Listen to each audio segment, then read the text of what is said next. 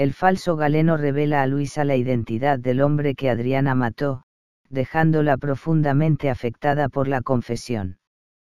Mientras tanto, Pedrito escucha accidentalmente una conversación en la que Bárbara le confiesa a Isabel que tiene planes de abandonar Valle Salvaje, un descubrimiento que lo deja consternado.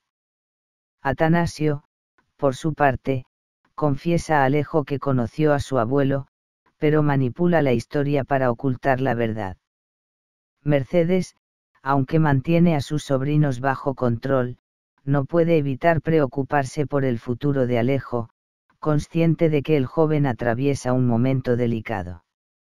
Al mismo tiempo, Pedrito, dolido, confronta a sus hermanas al descubrir que le ocultaron la decisión de Bárbara de marcharse tras la boda, sintiéndose traicionado por la falta de sinceridad.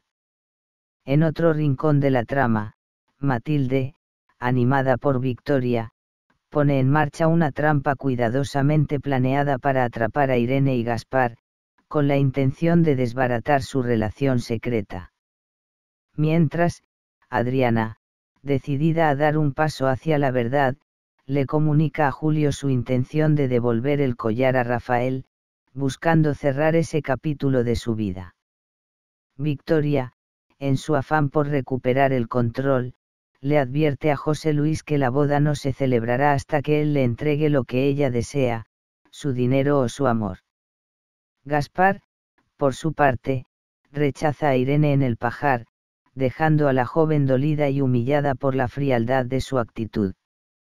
Por último, cuando todo parecía decidido, Bárbara reconsidera su decisión de abandonar Valle Salvaje, cambiando el rumbo de los acontecimientos y sumando una nueva incógnita al destino de la familia.